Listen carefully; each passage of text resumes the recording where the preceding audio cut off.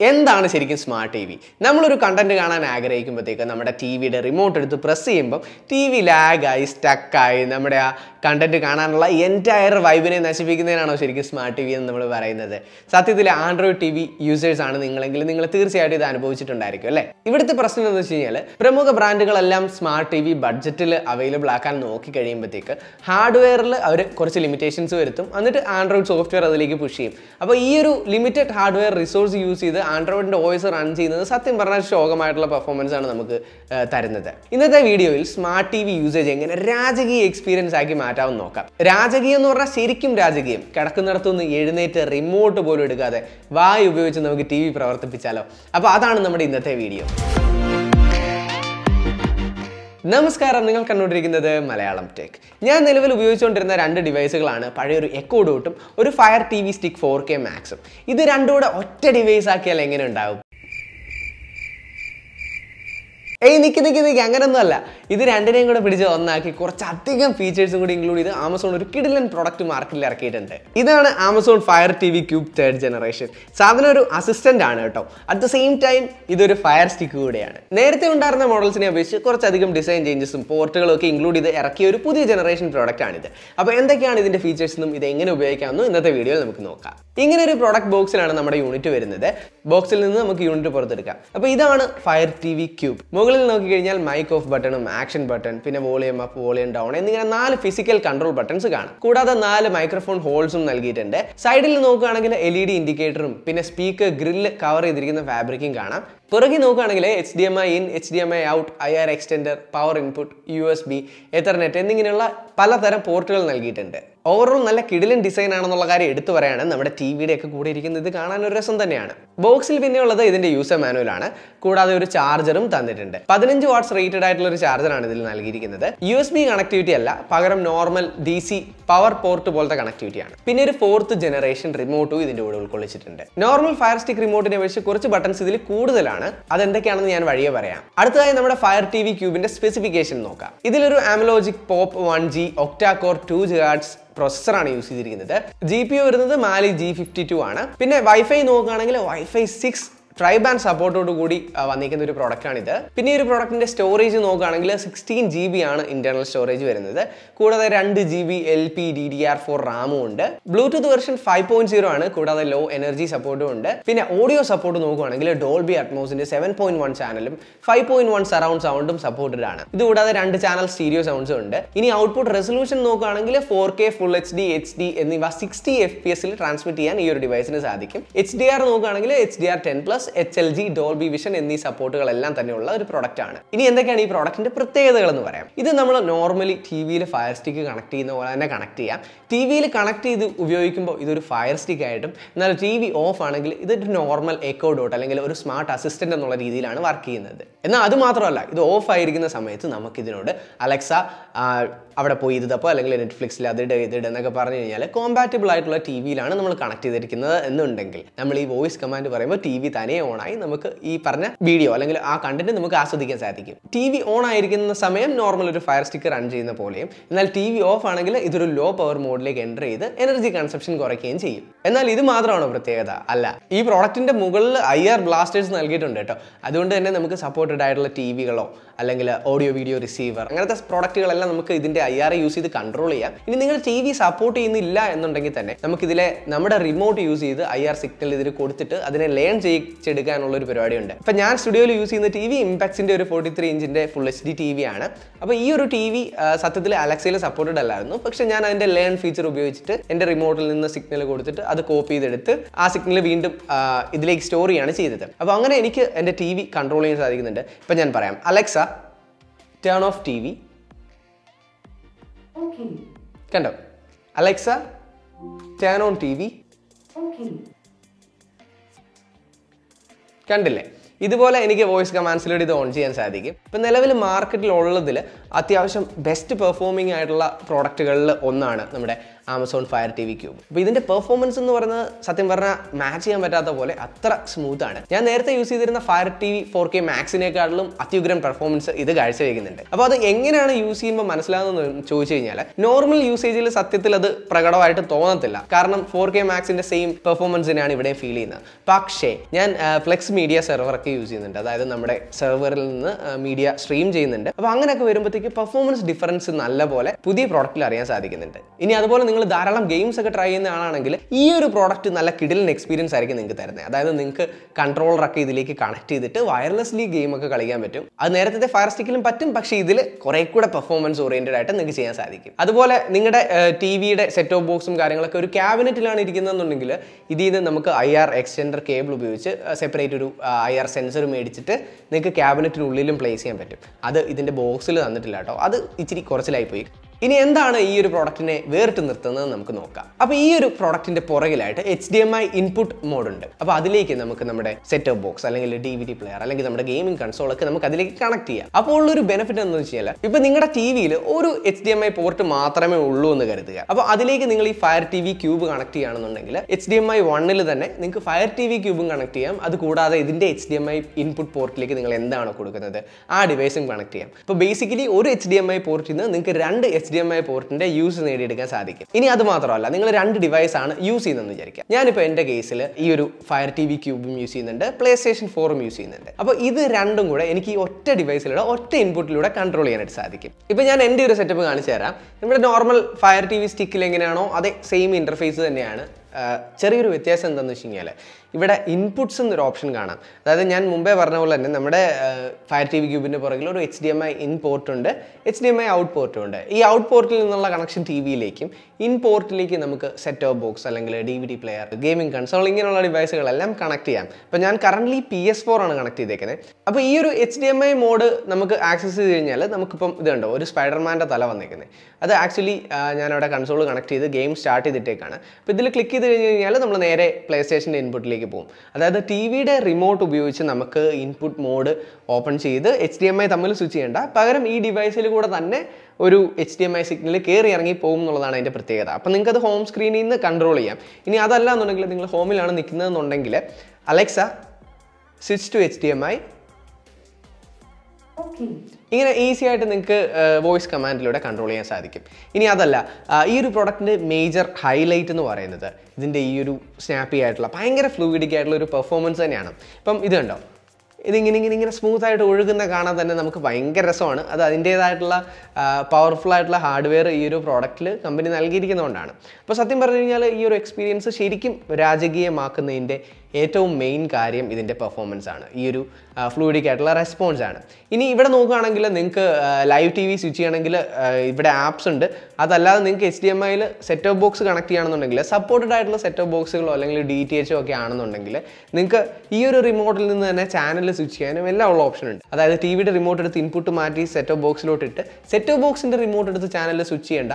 അങ്ങനത്തെ പരിപാടികളിൽ നിന്നെല്ലാം നിങ്ങൾക്ക് ഒറ്റ ഒരു സൊല്യൂഷൻ എന്നുള്ള രീതിയിൽ ഈ ഒറ്റ സിംഗിൾ റിമോട്ടിൽ നിങ്ങൾക്ക് ഇത് ഫുള്ള് കൺട്രോൾ ചെയ്യാൻ സാധിക്കും എന്നുള്ളതാണ് ഇനി അതല്ല ടി വിയുടെ വോളിയം കൺട്രോൾ ചെയ്യണമെന്നുണ്ടെങ്കിൽ അതും പറ്റും. അലക്സ ഡിക്രീസ് ദ വോളിയം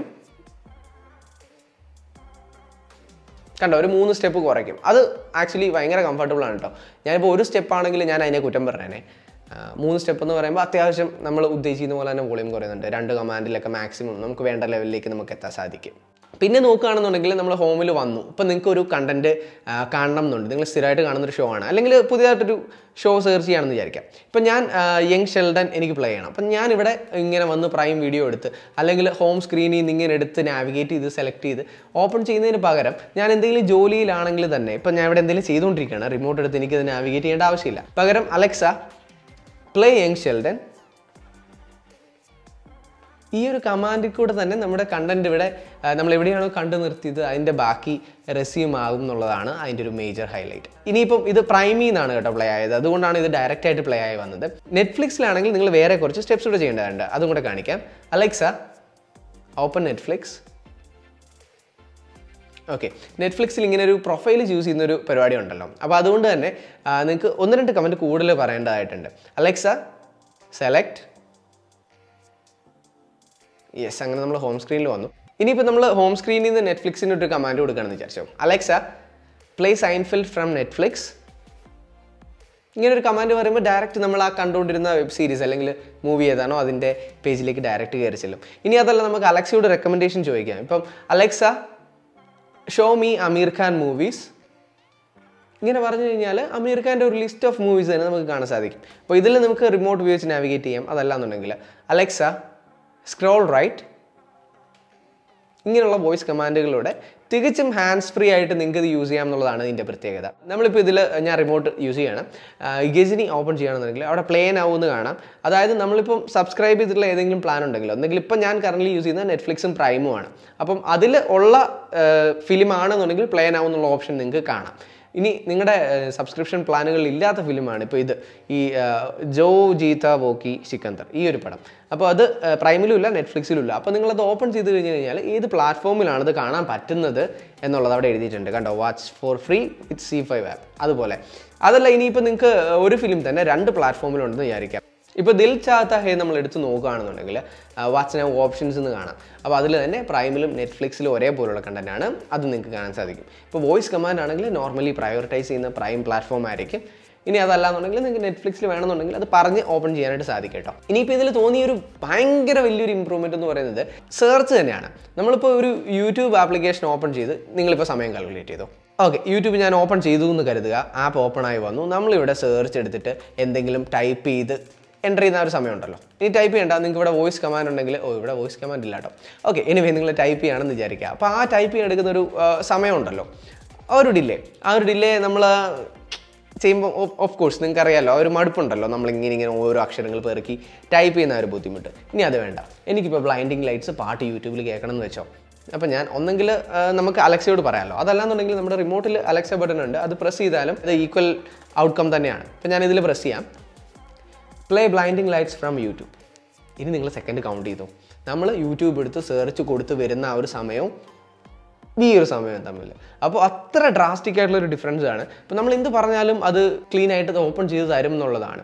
സമയത്തിന്റെ ആ ഒരു പ്രത്യേകതയാണ് ഞാനിവിടെ മെയിനായിട്ട് പ്രയോറിറ്റൈസ് ചെയ്യുന്നത്. ഇപ്പോൾ ഈവൻ ഒരു ജോലിയിലാണെങ്കിൽ പോലും നമ്മൾ അതിന്റെ ഇടയ്ക്ക് ഇത് വന്ന് റിമോട്ട് എടുത്ത് നാവിഗേറ്റ് ചെയ്ത് സെർച്ച് ചെയ്ത് ടൈപ്പ് ചെയ്ത് ചെയ്യുന്ന ആ ഒരു ഫീലിനേക്കാളും വളരെ ഈസിയാണ് നമുക്ക് കമാൻഡുകളിൽ ചെയ്യാം എന്നുള്ളത് ഇനിയിപ്പോൾ ഇതുപോലെ തന്നെ നിങ്ങൾക്ക് പ്ലേ ലിസ്റ്റ് ഉണ്ടെങ്കിൽ അതൊക്കെ പ്ലേ ചെയ്യാനുള്ള ഓപ്ഷൻസ് ഉണ്ട്. അങ്ങനെ ഒരുപാട് കാര്യങ്ങൾ ഇതിൽ ചെയ്യാം കേട്ടോ അപ്പോൾ സത്യം പറഞ്ഞു കഴിഞ്ഞാൽ ഞാനിത് കൂട്ടുകാരെല്ലാം കാണിച്ചു. എല്ലാവരും നല്ല ഇമ്പ്രസ്ഡ് ആണ് ഇതിന്റെ പെർഫോമൻസ് കണ്ടിട്ട് സ്പെഷ്യലി ഇതിന്റെ സ്പീഡ് സത്യം പറഞ്ഞാൽ നമ്മുടെ സ്റ്റുഡിയോ മൊത്തത്തിലൊരു സ്മാർട്ട് സെറ്റപ്പ് ആണെന്ന് പറഞ്ഞാൽ പോലും T V Android smart T V ആണ്. പേരിൽ സ്മാർട്ട് ടി വി ഉണ്ട്. പക്ഷേ അത്രത്തോളം സ്മാർട്ട് ആയിരുന്നോ എന്ന് എനിക്കൊരു സംശയം ഉണ്ടായിരുന്നു കാരണം അത് ടി വിയെ കുറ്റം പറഞ്ഞിട്ട് കാര്യമില്ല. ആൻഡ്രോയിഡ് സോഫ്റ്റ്വെയറിന്റെ ലിമിറ്റേഷൻ ആണ്. കാരണം ആ ഒരു ഹാർഡ്വെയറിൽ ആ ഒരു സോഫ്റ്റ്വെയർ റൺ ചെയ്യുമ്പോൾ വരുന്ന ഒരുപാട് പ്രാക്ടിക്കൽ ആയിട്ടുള്ള ബുദ്ധിമുട്ടുകളുണ്ട്. അതേസമയം നമ്മൾ കുറേ നേരം ടി വി ഓൺ ചെയ്ത് വെച്ച് ഒക്കെ ചെയ്യുവാണെങ്കിൽ ലാഗൊക്കെ അല്പം കുറയും എന്നല്ലാതെ. പെട്ടെന്നൊരു മൂഡ് ഉണ്ടായി നമ്മൾ എന്തെങ്കിലും കാണണം തോന്നുമ്പോൾ സത്യം പറഞ്ഞാൽ അതിനെ നശിപ്പിച്ച് കളയുന്ന പോലെയാണ് അതിന്റെ ഒരു പെർഫോമൻസ് പിന്നെ ഇതിൽ എടുത്തു പറയേണ്ട മറ്റൊരു കാര്യം. ഞാനിപ്പം പ്ലേ സ്റ്റേഷനിലേക്ക് ഒന്ന് സ്വിച്ച് ചെയ്യാം. ഇപ്പം നമ്മൾ ഫയർ ക്യൂബിൽ എച്ച് ഡി എം ഐ മോഡിലാണ് നിൽക്കുന്നത്. പ്ലേ സ്റ്റേഷൻ സ്ക്രീനാണ് കറൻലി കാണുന്നത്. ഇവിടെ വെച്ച് ഞാൻ വെയ്ക്ക് വേർഡ് പറയുകയാണെന്നുണ്ടെങ്കിൽ നമ്മുടെ ഓഡിയോ മ്യൂട്ടാണ് കാണാം. ഇപ്പം ശ്രദ്ധിച്ചോണം അലക്സ കണ്ടോ? അവിടെ ഓഡിയോ മ്യൂട്ടായി അതേസമയം നമ്മൾ നെറ്റ്ഫ്ലിക്സിലോ പ്രൈം വീഡിയോയിലോ എന്തെങ്കിലും കണ്ടന്റ് കാണുക കാണുകയാണെന്ന് വിചാരിക്കാം അപ്പോൾ ഇവിടെ നമ്മൾ കണ്ടുകൊണ്ടിരിക്കുമ്പോഴാണ് ഈ വേഗ് വേർഡ് പറയുന്നുണ്ടെങ്കിൽ മ്യൂട്ട് ആകില്ല പകരം ഓഡിയോ അവർ ഡിപ്പ് ചെയ്ത് പോയിട്ട് പിന്നെയും കയറി വരും. അലക്സ കണ്ടോ ഇവിടെ ആ ഒരു മ്യൂട്ട് ബട്ടൺ കാണുന്നില്ല. പിന്നെ ഇതിൽ എടുത്തു പറയേണ്ട മറ്റൊരു കാര്യം എന്ന് പറയുന്നത് ഇതിന്റെ ഒരു ഫാർ ഫീൽഡ് ലിസണിങ് എന്ന് വേണമെങ്കിൽ പറയാം. ഇപ്പോൾ നോർമലി എന്റെ നേരത്തെ എക്കോ ഡോട്ട് ഇരുന്നത് ആ ഒരു ഭാഗത്താണ്. അപ്പോൾ അതിന്റെ തൊട്ടപ്പുറയാണ് നമ്മുടെ ബെഡ്റൂം ഉള്ളത്. ഇപ്പോൾ ഞാൻ ആ പ്ലേസ്മെന്റ് മൊത്തത്തോടെ മാറ്റി. അതായത് ബെഡ്റൂമിന്റെ അവിടെ നിന്ന് ഇങ്ങ് ഇപ്പുറത്താണ് കൊണ്ട് വെച്ചേക്കുന്നത് നമ്മുടെ ഫയർ ക്യൂബ് പക്ഷേ സ്റ്റിൽ ഞാൻ ബെഡ്റൂമിൽ നിന്ന് എന്തെങ്കിലും പറഞ്ഞാലും ഇത് ലിസൺ ചെയ്ത് കൺട്രോൾസ് ഒക്കെ അഡ്ജസ്റ്റ് ചെയ്യുന്നുണ്ട്. നമ്മൾ നേരത്തെ തന്നെ സ്മാർട്ട് സ്റ്റുഡിയോ സെറ്റപ്പ് ചെയ്തുകൊണ്ട് Alexa turn off all lights കണ്ടോ. Alexa turn on all lights okay അങ്ങനെ നമുക്ക് കൺട്രോൾ ചെയ്യാം. ഇനി ഞാൻ പറഞ്ഞു വരുന്ന മറ്റൊരു കാര്യം. നമ്മൾ സെറ്റ് ഓഫ് ബോക്സ് കണക്ട് ചെയ്ത് ടി വി ഒക്കെ കാണുകയാണെന്ന് വിചാരിക്കാം അപ്പം നമ്മുടെ വീട്ടിൽ ഏതെങ്കിലും ഗസ്റ്റ് വന്നു. നമ്മൾ അലക്സ കണക്റ്റഡ് ആയിട്ടുള്ള ക്യാമറ സെക്യൂരിറ്റി ക്യാമറ വെച്ചിട്ടുണ്ടെന്ന് വിചാരിക്കാം നമുക്കപ്പം അലക്സയോട് വിഷ്വൽ കാണിക്കാൻ പറഞ്ഞു കഴിഞ്ഞ് കഴിഞ്ഞാൽ നമ്മൾ ഈ വിഷ്വൽ കാണുന്നതിന്റെ മുകളിലായിട്ട് ഒരു ചെറിയ പിക്ചറിൻ പിക്ചർ മോഡ് പോലെ ചെറിയൊരു ബോക്സിൽ നമുക്ക് നമ്മുടെ ക്യാമറ കാണാൻ പറ്റും. അതുപോലെ തന്നെ ഓവർലേസിന്റെ കാര്യം കൂടി എടുത്ത് പറയുകയാണ്. നമ്മളിപ്പം ഇതിനോട് വെതർ എന്താണെന്ന് ചോദിക്കുകയാണെങ്കിൽ നമ്മുടെ ഈ ഒരു സ്ക്രീൻ അതായത് നമ്മൾ ഗെയിം കളിക്കുകയാണ് അല്ലെങ്കിൽ ടി വി കാണുകയാണ് അതിന്റെ ഇടയ്ക്ക് അതിന്റെ പൊക്കത്ത് നമുക്ക് വെതർ എന്താണെന്നൊക്കെ അറിയാൻ സാധിക്കും. നമ്മുടെ ആ സ്മാർട്ട് ടി വി യൂസർ എക്സ്പീരിയൻസിനെ ഭയങ്കരമായിട്ട് ഇമ്പ്രൂവ് ചെയ്യുന്ന രീതിയിലുള്ള കുറേ കാര്യങ്ങളാണ് ഈ ഒരു ഡിവൈസ് നമ്മുടെ ലൈഫിലേക്ക് കൊണ്ടുവരുന്നത്. ഇപ്പം നിങ്ങൾ വിചാരിക്കുന്നുണ്ടായിരിക്കും ഞാൻ എന്തിനാണ് ഇങ്ങനെ തള്ളി മറിക്കുന്നതെന്ന് സത്യം പറഞ്ഞു കഴിഞ്ഞാൽ എന്റെ ഒരു എക്സൈറ്റ്മെന്റ് കൊണ്ടാണ് കേട്ടോ. ഇങ്ങനത്തെ ഉള്ള ഡിവൈസുകൾ യൂസ് ചെയ്യുമ്പോഴാണ് ഞാൻ ആക്ച്വലി എക്സൈറ്റഡ് ആകുന്നത്. എനിക്ക് വളരെയധികം ഇഷ്ടപ്പെട്ട ഒരു ഡിവൈസ് കൂടിയാണ് ഇത് ഞാൻ ഈ റീസെന്റ്ലി റിവ്യൂ ചെയ്തതിൽ എനിക്ക് ഏറ്റവും പ്രിയപ്പെട്ട ഒരു പ്രോഡക്റ്റ് എന്ന് വേണമെങ്കിൽ പറയാം. ഈ ഒരു പ്രോഡക്റ്റിന്റെ പ്രൈസ് വരുന്നത് പതിമൂവായിരത്തി തൊള്ളായിരത്തി തൊണ്ണൂറ്റൊമ്പത് രൂപയാണ്.